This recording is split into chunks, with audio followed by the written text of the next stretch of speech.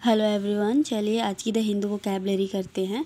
First है setback setback का मतलब होता है अ प्रॉब्लम दैट डिलेज और दैट स्टॉप्स प्रोग्रेस और मेक्स अ सिचुएशन वर्स मतलब सेटबैक मतलब होता है सिंपल सा मतलब प्रॉब्लम जो हमारी ग्रोथ को रोक रहा है प्रोग्रेस होने से रोक रहा है।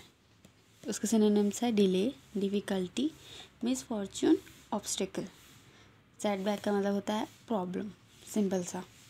नेक्स्ट है आउटस्टेड आउटस्टेड का मतलब होता है to force someone to leave a position of power job place और कंपटीशन मतलब किसी इंसान को फोर्स करना कि वो अपनी पोजीशन को छोड़े, उसको उस काम से निकाल देना, उसे ही आउटस्टेड कहेंगे। Synonyms expel evict eject fire force out ousted का मतलब होता है निकाल देना। नेक्स्ट है डिग्निटरीज डिग्निटरीज का मतलब होता है a person who is influential और has an important official position Hindi में प्रभावशाली अथवा महत्वपूर्ण पद पर आसीन व्यक्ति।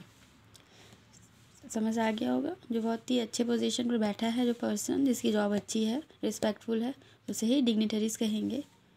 Synonym important person influential person next है रेमिनिसेंट रेमिनिसेंट का मतलब होता है, कोई चीज़ जो आपको आपका पास्ट याद दिलाती है सिंपल सा, उसे ही हम रेमिनिसेंट कहेंगे। Thinking about the past similar भी बोलते हैं, और उसका मतलब है making you remember a particular person event और थिंग कोई चीज़ देख कर आपको कोई पर्टिकुलर पर्सन की याद आ गई, कोई इवेंट की याद आ गई, कोई सिचुएशन की याद आ गई तो उसको हम रेमिनेसेंट बोलेंगे। मतलब पुरानी चीज़ का जो याद दिला दे, उसे ही रेमिनेसेंट कहेंगे। नेक्स्ट है पॉन। पॉन का मतलब होता है a person who is used और controlled by other more powerful people मतलब कोई सीधा साधा इंसान है, उसको पावरफुल लोग, पैसे वाले, किसी भी तरह से पावरफुल लोग, उसको कंट्रोल कर रहे हैं, उसको टॉर्चर कर रहे हैं तो उस सिचुएशन को ही पॉन बोलेंगे।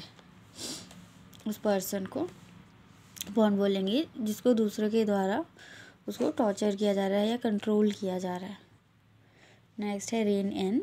फ्रेजल वर्ब है, इसका मतलब होता है टू लिमिट और कंट्रोल समन और something rein in to control undesirable activity और ग्रोथ और control someone who is behaving badly rein in का सिंपल सा मतलब होता है कंट्रोल करना। अगर कोई सिचुएशन ख़राब हो रही है तो उस पर कंट्रोल करना। कोई पर्सन बैड बिहेव कर रहा है तो उसको कंट्रोल करना। रेन इन का मतलब होता है टू लिमिट और control thank you so much